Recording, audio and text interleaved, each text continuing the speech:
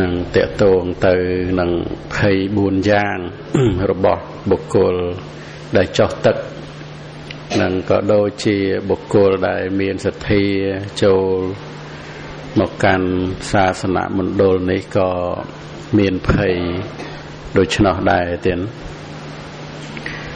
សម្រាប់អ្នកចុះទឹកហ្នឹងគឺទី1ហ្នឹងគឺភ័យព្រោះរលោ ណាភ័យព្រោះរលោទី2គឺភ័យព្រោះក្រពើនិងទី3គឺភ័យក្នុងអន្លង់ទឹកហើយទី4ហ្នឹងគឺភ័យដោយត្រីកាចហ្នឹងគឺអ្នកដែលចោះធ្វើដំណើរ តាមទឹកឬក៏ចោះទៅក្នុងទឹកទន្លេអីចឹងទៅគឺតែងមាន24ប្រការនឹងទាំងបានព្រះសម្មាសម្ពុទ្ធព្រះអង្គទ្រង់ត្រាស់សម្ដែងនឹងកុលបុត្រណានៅក្នុងលោកនេះដែលជាអ្នកមានសទ្ធានឹងចូលមកកាន់ពុទ្ធសាសនាហ្នឹងក៏មានភ័យ 4ប្រការអញ្ចឹងដូចគ្នាទាំងណាភ័យនឹងដោយណាដោយរលកទឹកនឹងដោយក្រពើដោយអន្លង់ទឹកហើយនឹងដោយត្រីកាចនឹងដូចគ្នានឹងបានព្រះអង្គទ្រង់ត្រាស់សម្ដែង កុលបុត្រជាអ្នកមានសទ្ធា និងព្រោះជាអ្នកឃើញភ័យនៅក្នុងជាតិជរានិងមរណៈត្រូវសេចក្តីសោកសឹកសួលសេចក្តីទុកទោមនោះក្តីចង្អៀតចង្អល់នឹងគ្របសង្កត់នឹងក៏ចេញចាកផ្ទះចូលមកកាន់ភ្នោះបួសជាបព្វជិតនឹងចឹងទៅគឺកាលណាដែលបានបួសហើយហ្នឹងក៏ត្រូវភិក្ខុ នឹងដែលលោកបួសមុនជាប្រធេរៈហ្នឹងគឺណែនាំទាំងណាត្រូវណាឈានយ៉ាងនេះដើរយ៉ាងនេះត្រូវក្រងយ៉ាងនេះងាកមើលឆ្វេងងាកមើលស្ដាំយ៉ាងនេះ មានន័យថាអប់រំទៅនៅក្នុងវត្តបដិបត្តិសពគ្រប់បែបយ៉ាងតាំងពីណា កិច្ចការងារក្នុងវត្តអារាមឬក៏ថាត្រូវចូលទៅកាន់ស្រុកអីហ្នឹងយ៉ាងណាយ៉ាងណាក៏ត្រូវប្រព្រឹត្តទៅដោយការសង្រួមទៀតនឹងហើយភិក្ខុនោះក៏បានពិចារណាថាយើងកាលនៅជាកុហកយើងជាអ្នកអប់រំណែនាំអ្នកដតីប៉ុន្តែបុគ្គលនេះគឺមានវ័យដូចជាកូនយើងអញ្ចឹងមកបដៅមកថាអីឲ្យយើងផងហ៎ ណាអញ្ចឹងភិក្ខុហ្នឹងក៏មានការខឹងក្រោតអអន់សពុនចិត្តនឹងរួចហើយក៏លាចាកសិក្ខាទៅកាន់ភេទថោកទាបវិញណាហ្នឹងគឺព្រះអង្គសម្ដែងពីភ័យទី1ហ្នឹងគឺដោយរលកទឹកហ្នឹងមានន័យថាដោយសេចក្តីថ្នាំងថ្នាក់សេចក្តីខឹងក្រោតនឹងឯងទាំង នឹងដែលធ្វើឲ្យកុលបុត្រនោះដែលមានសទ្ធា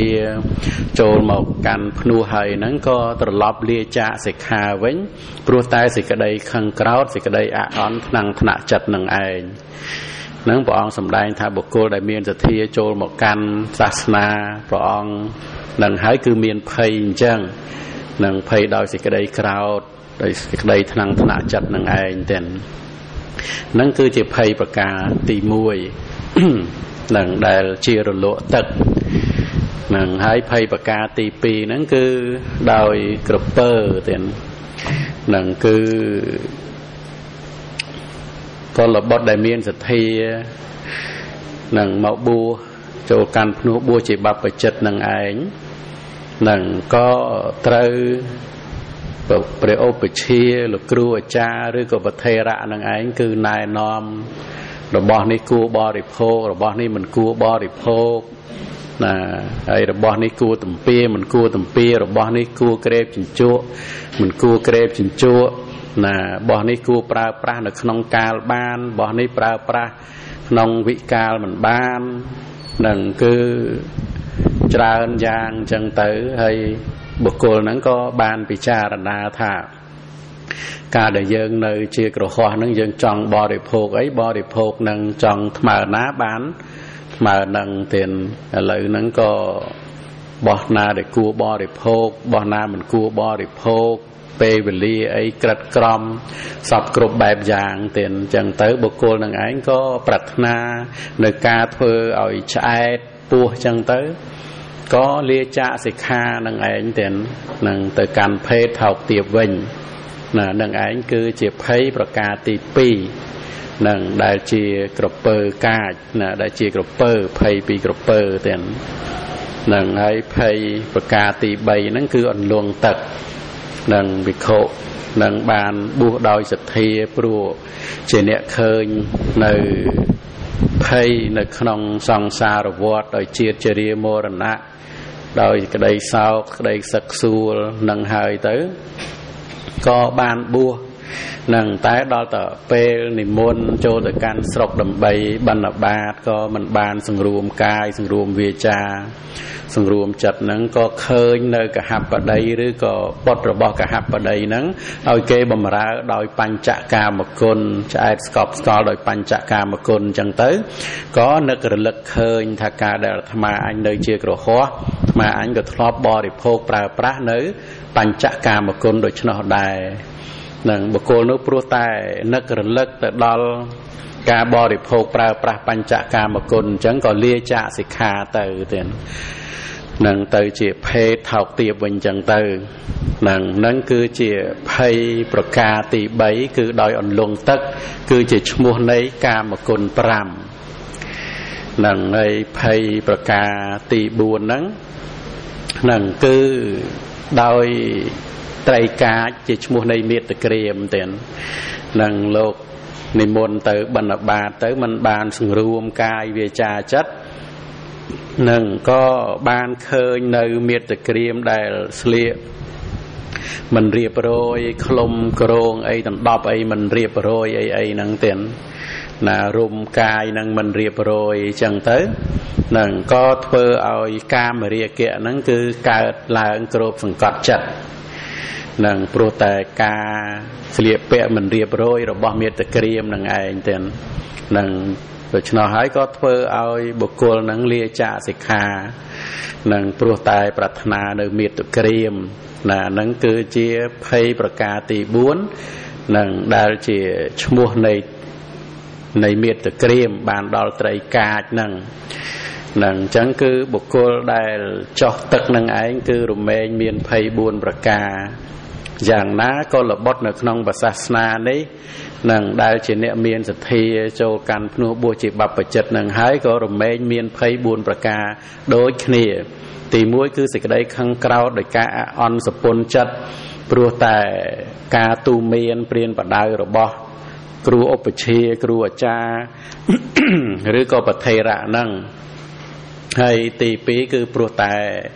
អត់ទ្រាំនៅក្នុងសេចក្តីស្រេកឃ្លាន ចំពោះអាហារនឹងមិនបាននឹងហើយទី3ហ្នឹងដោយសារការនឹករលឹកទៅលើការបរិភោគនៅ បញ្ចកាមគុណដែលខ្លួនធ្លាប់បរិភោគមកអញ្ចឹងក៏វិលត្រឡប់ទៅវិញ ហើយទី4នឹងឯងគឺនឹងភ័យដោយមេត្តក្រៀមទាំងណាការចូលទៅកាន់ស្រុក ចឹងទៅក៏ឃើញមេត្តក្រៀមនឹងស្លៀកពាក់ណាมันបានរៀបរយអអញ្ចឹងទៅក៏ធ្វើឲ្យរាគៈហ្នឹងកើតឡើងគ្របសង្កត់ចិត្តណាអញ្ចឹងទៅក៏លាចាកសិក្ខាទៅណាហ្នឹងគឺណាយើងបានស្ដាប់អញ្ចឹងមកជាពិសេសគឺព្រះអង្គសម្ដែងធัวនេះគឺប្ររពទៅលើគុណចាស់នឹងជាភិក្ខុសាមណេរដែលចេញចាកផ្ទះ នឹងចូលមកកាន់ភ្នោះបួសជាបព្វជិតនឹងឯងនឹងគឺគប់បីឃើញ24ប្រការនេះឯងនឹងដែលធ្វើឲ្យគុណចាស់នឹងអាចលាចាកសិក្ខាទៅជាក្រហោះវិញក៏មានទៀតនឹងចឹងចឹងក៏គប់បីពិចារណានៅក្នុងសេចក្តីនេះរឿយរឿយទៅ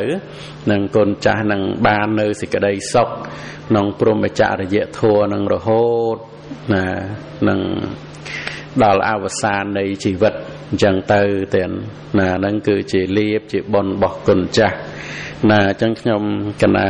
ឃើញសេចក្តីនៃព្រះធម៌ហ្នឹងសំដែងហូហែមកណាតាមលំដាប់នៅក្នុងបៃដកលេខ42នឹងមកក៏រតនីដើម្បីណាបានជាប្រយោជន៍ជាការចងចាំហើយក៏រំលឹក នឹងដាស់តឿនស្មារតីណាដោយព្រះធម៌នឹងទៀតដូច្នោះសេចក្តីតទៅក៏រតនានិមន្តព្រះអង្គគ្រូចូលរួមដោយធម្មកថាហើយនឹងការរំលឹកមេរៀនហើយនឹងបានចូលមេរៀនថ្មីទៀតសូមរតនានិមន្តសូមអនុមោទនី